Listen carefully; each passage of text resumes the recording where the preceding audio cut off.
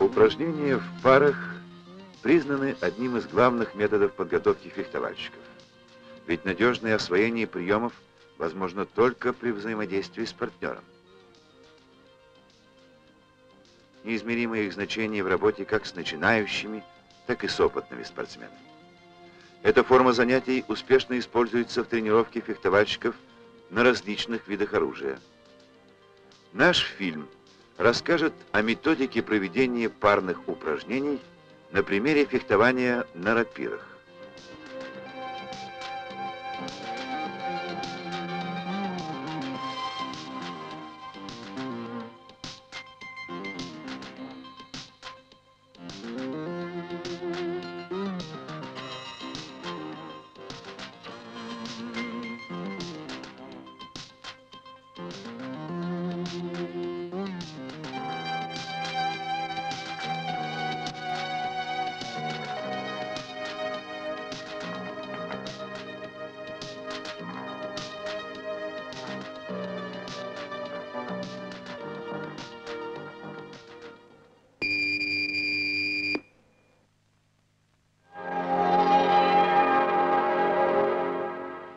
Упражнения с взаимопомощью и взаимоуроки являются как бы первым звеном цепи парных упражнений.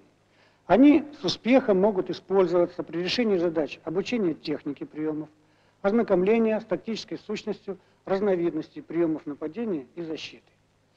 В процессе выполнения этих упражнений осваивается двигательная структура в упрощенных условиях. Упражнения с взаимопомощью могут начинаться с простейших взаимодействий с партнером. Они формируют чувство дистанции, закрепляют технику передвижений. Главная задача этого упражнения – сохранить дистанцию.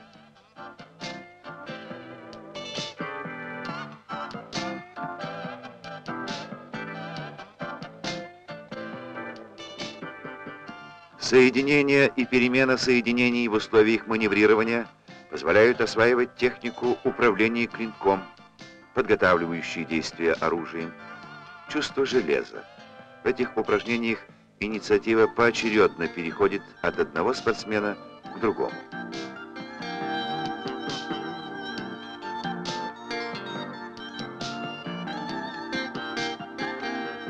Уколы с выпадом прямо и переводом выполняются сначала на месте, а затем в движении. Длина выпада изменяется в зависимости от глубины нападения. Суть упражнения – совершенствование техники посыла оружия в условиях изменяющейся дистанции.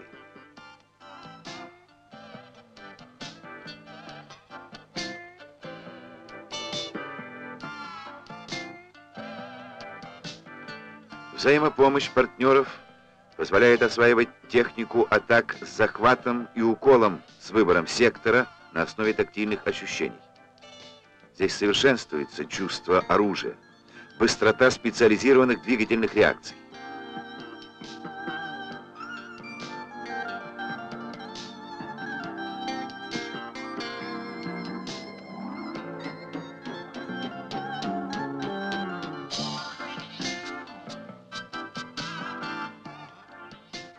Условное единоборство с противником – служат для закрепления техники защит с ответами и контрзащит с контратветами в различные секторы.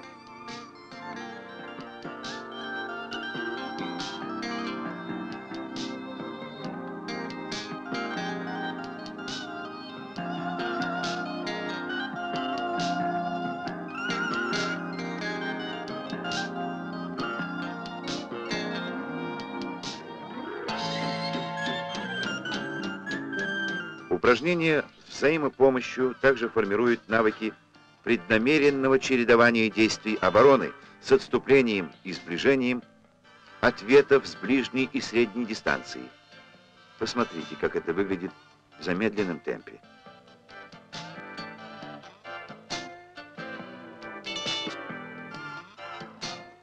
Парируя нападение в наружный сектор, боец слева произвольно чередует два действия шестую защиту. Ответ прямо, отступление и ответную атаку с действием на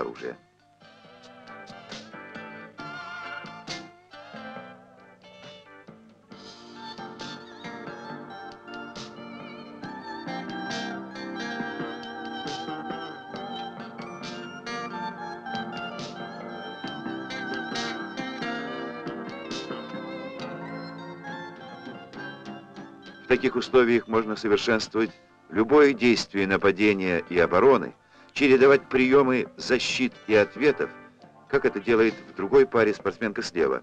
Она выполняет шестую защиту с ответом прямо, либо четвертую защиту со сближением и ответом из-за головы.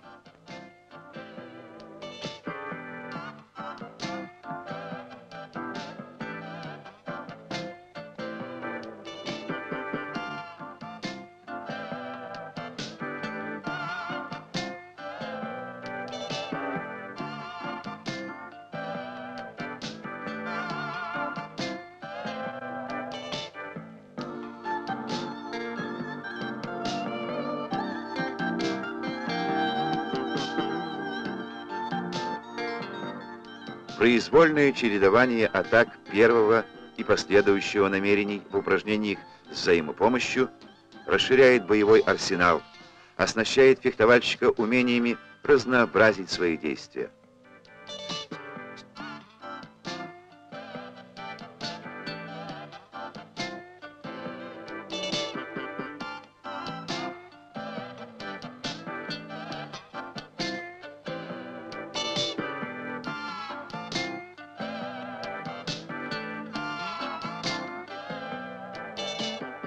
А в этой условной схватке атакующий принимает решение в зависимости от действий партнера по заранее обусловленному сюжету.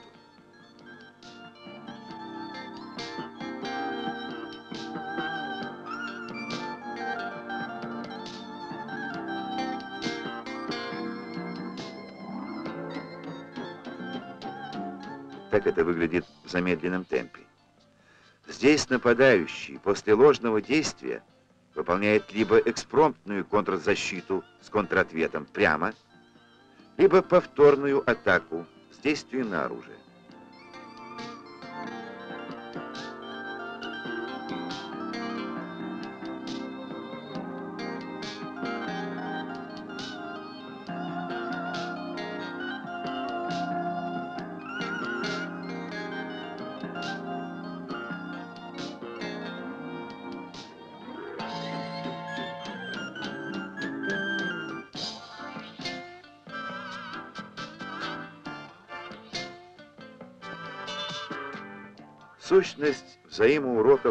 В том, что один из занимающихся берет на себя роль тренера и дает индивидуальный урок своему партнеру.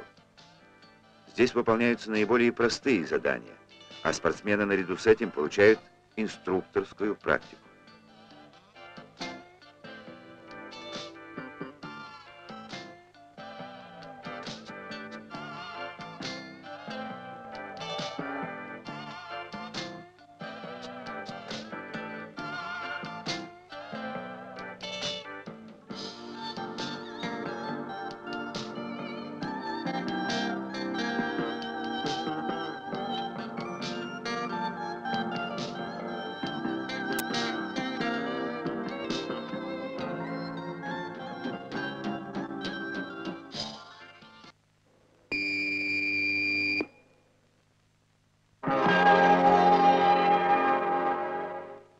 Репостная игра – одна из форм организации занимающихся в парных упражнениях циклического типа.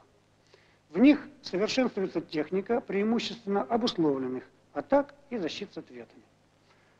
Необходимость сохранять дистанцию и ритмический рисунок в условиях переключения от нападения к обороне вносит элемент соперничества, создает высокий эмоциональный фон. В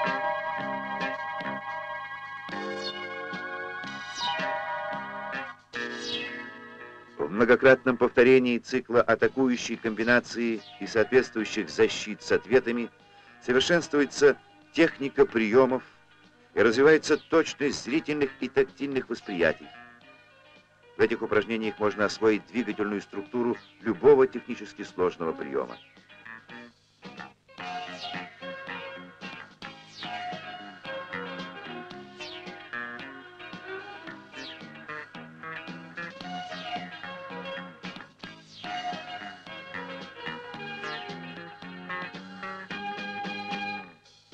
Сейчас спортсменки получили задание с дальней дистанции отработать технику ведения клинка при выполнении защиты с ответом, который по существу является ответной атакой с захватом.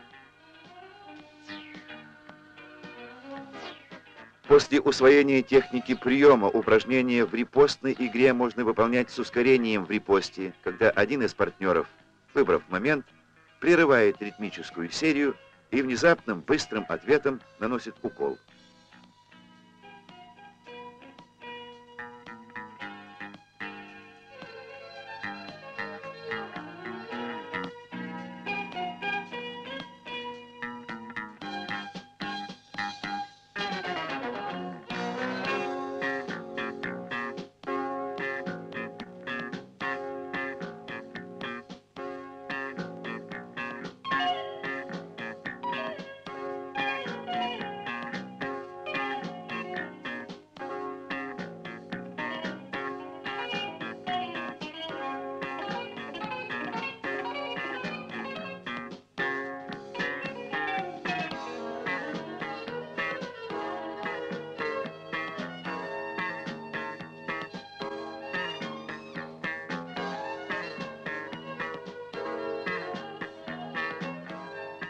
А вот пример более сложного упражнения, в котором оба партнера получили задание нанести ответный укол после финта.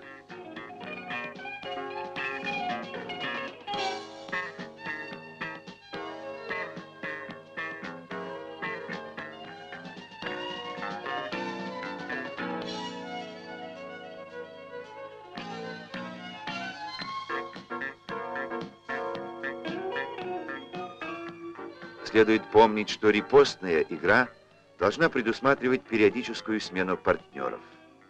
Это способствует вариативности выполнения одного и того же приема. А теперь небольшой отдых.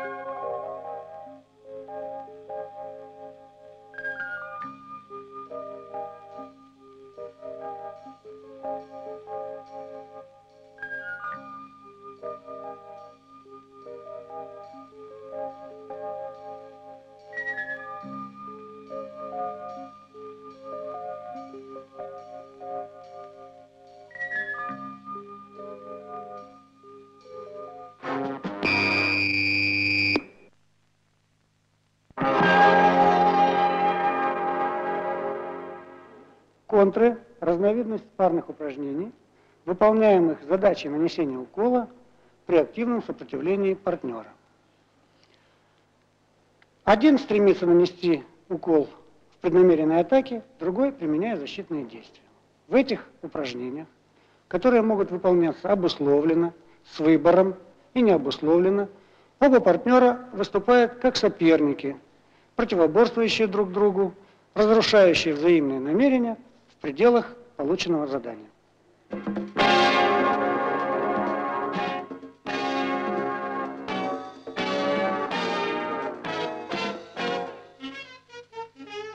Суть контров состоит в том, что обороняющийся партнер принимает боевую стойку спиной к какому-либо препятствию, делающему невозможным отступление.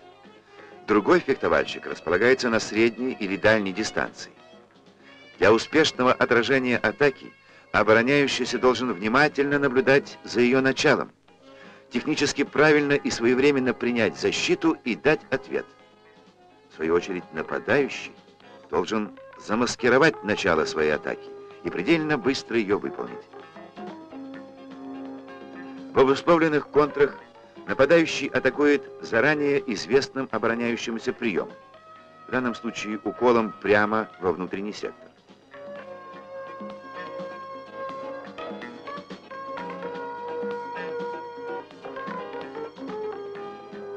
Контры с выбором – это упражнения, в которых атакующему дается право выбирать любую из двух-трех атак, определенных тренером. В этих условиях нападающий получает большие возможности для успешного применения совершенствуемых действий. Обороняющемуся трудно выполнить нужную защиту. Он должен действовать с высокой концентрацией внимания, наносить точные и быстрые ответы, ведь в контрах с выбором в нападении можно применять не только атаки, но и противодействовать ответам, что позволяет совершенствовать преднамеренные и экспромтные контрзащиты и контратветы.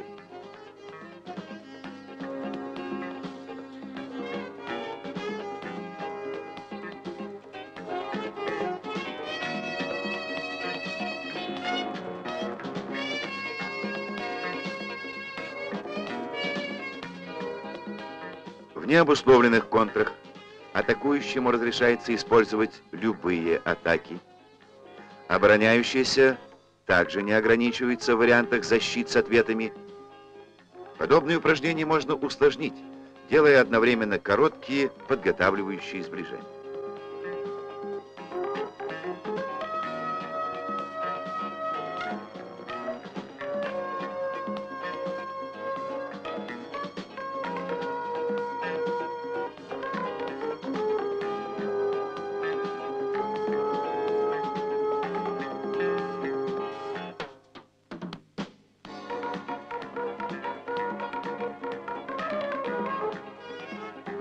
Противоборство в контрах вырабатывает у спортсменов смелость, решительность в атаках, потому что они действуют не опасаясь встречных нападений. Кроме того, контры специализируют скоростные качества.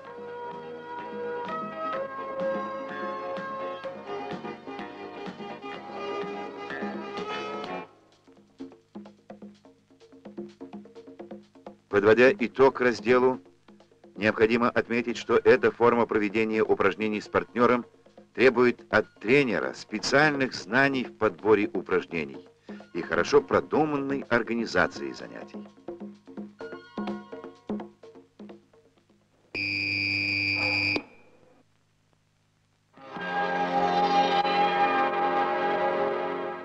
Учебно-тренировочные поединки специальной боевой направленности должны воспроизводить модель соревнований.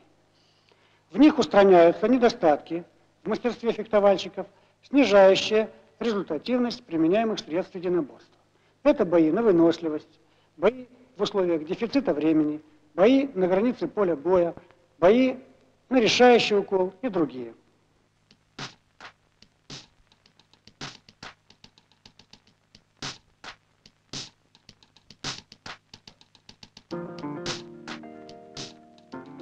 Важнейшим средством технико-тактического совершенствования являются учебно-тренировочные поединки с применением освоенных приемов.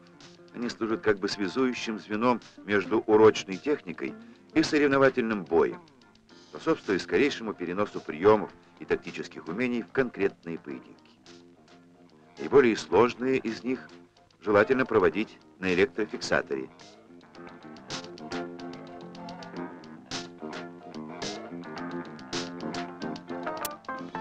Сейчас раперисты ведут поединок на техническую правильность боевых действий. А вот несколько фрагментов с фиксацией укола и повторением неудавшегося приема.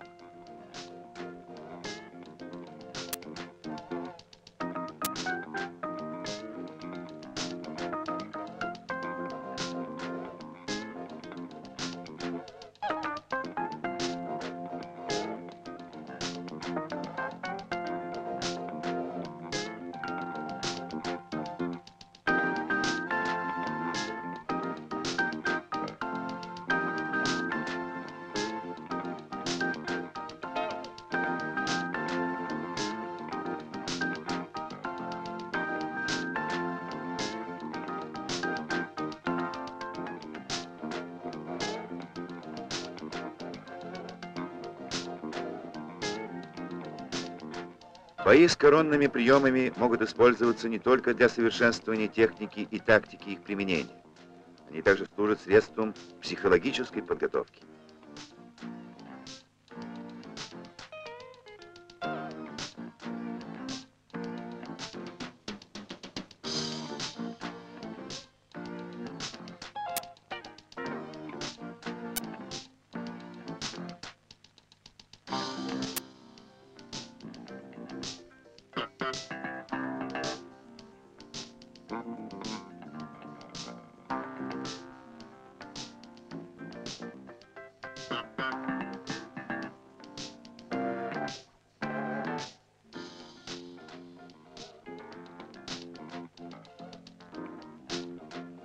В учебно-тренировочных боях с технико-тактической направленностью совершенствуются способы нападения и обороны, специализированные умения наносить уколы в намеченные секторы поражаемой поверхности.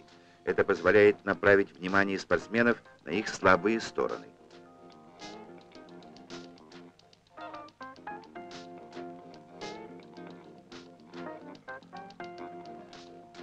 Более десятка учебно-тренировочных боев, где ставится задача нанесения уколов с тактической правотой, позволяет развивать и совершенствовать игровую манеру боя.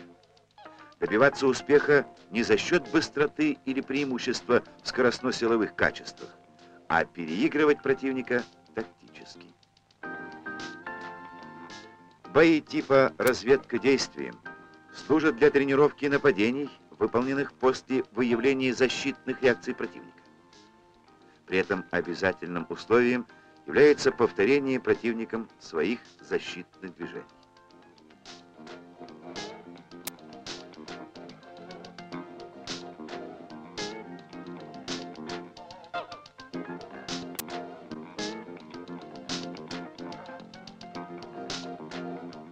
Бои с анализом действий позволяют спортсменам прекратить учебный поединок и обсудить причины неудавшихся приемов, промахов, недействительных уколов. И когда разбор проходит в доброжелательной атмосфере, можно считать, что упражнения идут на пользу.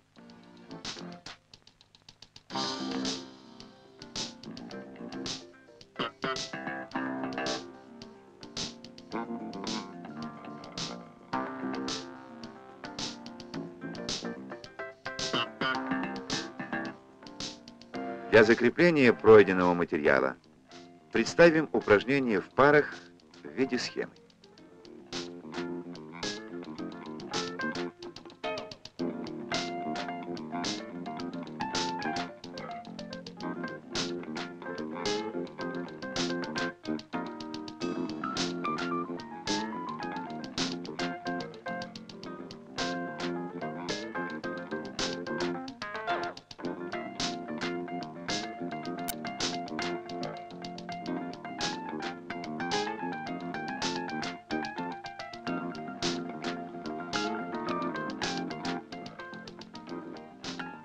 Поединки специальной боевой подготовки отличаются многообразием решаемых задач.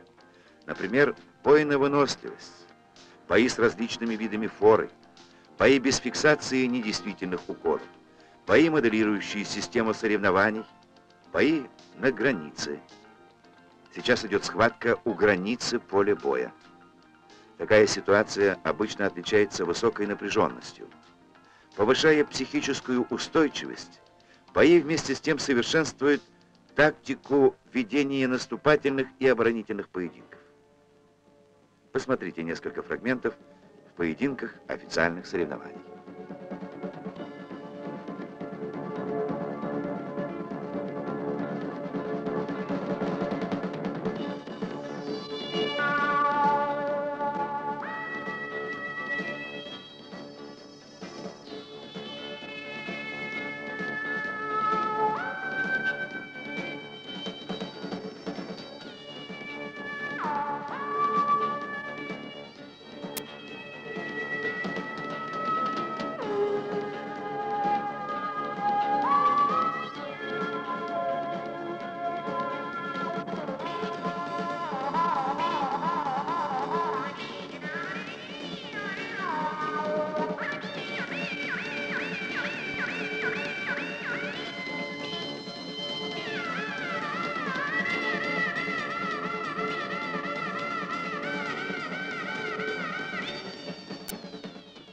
Упражнения с партнером играют важную роль в воспитании фехтовальщиков.